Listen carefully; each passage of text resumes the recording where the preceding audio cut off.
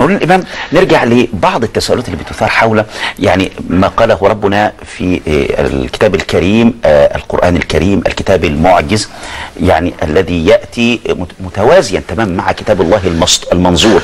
يعني إن أنزلناه في ليلة القدر ونزل منجما ومفرقا على مدار 23 عاما. كيف أفهم؟ البعض يرى هل ثمة تناقض بين هذين المعنيين؟ لا ما هو آه، إن أنزلناه ولو بعضه. آه. آه لأن هو لما قال إن أنزلناه أيوه. ما قالش إنه إحنا نزلناه كده آه، آه، على بعضه وقرآنا آه، فرقناه على الناس لتقرأه على الناس على مكث. آه، فرقناه لتقرأه على الناس على مكث ونزلناه تنزيلا. نزلناه نزلناه تنزيلا يعني شيئا فشيئا اهو يعني هو حتى كده آه. نزلناه تنزيلا. فإنا أنزلناه في ليلة القدر يعني أننا بدأناه في ليلة القدر. آه إنا أنزلناه في ليلة مباركة إنا كنا منذرين فيها يفرق كل أمر حكيم أمرا من عندنا. إنا كنا منذرين. ف آه، آه، هنا يعني سبحان الله لما يقول إنا أنزلناه في في ليلة القدر أو إنا أنزلناه في ليلة, ليلة مباركة. مباركة يبقى إذا البداية. أيوه. واخد بالك إزاي؟ والبداية كانت بالليل ولذلك هناك سر ما بين القرآن وبين الليل. آه ما السر ما بين القرآن وبين الليل مولانا؟ نزوله في الليل وتلاوته في الليل فيها شيء. واخد بالك إزاي؟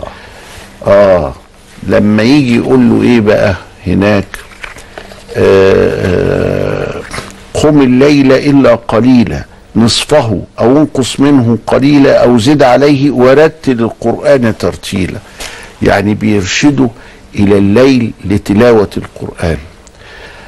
لما يقول مثلا أقم الصلاة لدلوك الشمس إلى غسق الليل وقرآن الفجر. طب وقرآن الظهر؟ طب وقرآن العصر؟ وقرآن الفجر. إن قرآن الفجر كان مشهودا. الله إيه الرابط العجيب ده ما بين القرآن وبين الليل؟ آه، التوقيت الزمني ده. الفجر. آه. وبين كذا يبقى الإنزال كان ليلا والقيام كان ليلا والفجر برضه لسه الضياء ما طلعتش آه، حتى يغشاه أبو السرج ما فيش لسه كان. فاذا في سر إحنا بنقول سر ليه؟ لأنه يتسع يختلف من عبد لعبد ومن عابد لعابد. يختلف فبنقول عليه سر.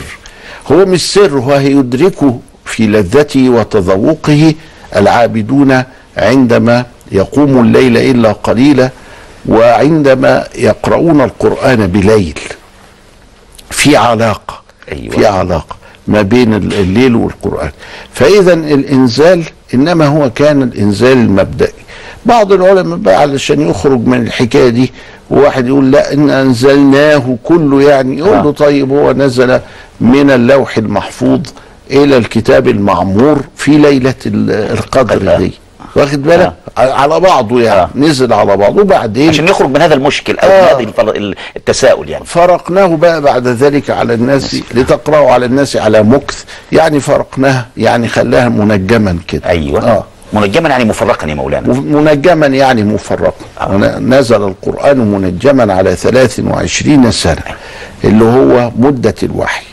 النبي عليه السلام يعني بدأ بدأه الوحي وهو عنده 40 سنة. وبعدين قعد 23 سنة يبقى انتقل وهو عنده 63 سنة.